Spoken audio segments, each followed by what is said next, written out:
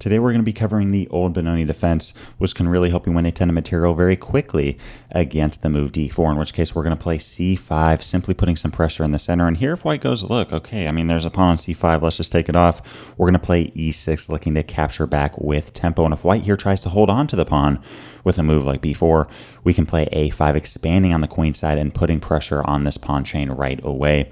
Whole idea being, look, I mean, if a move like a3, we're going to capture on b4, and a takes b4 from white cannot be played unless they want to lose their rook. But if we see a move like c3, the same exact thing happens because of a takes b4 and after c takes b4, we have queen f6.